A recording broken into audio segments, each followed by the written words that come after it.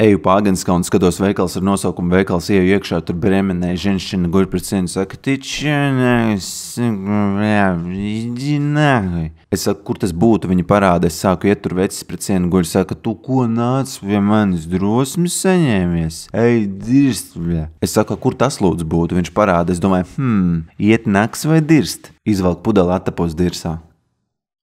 Arī labi. Uy, какой Петр!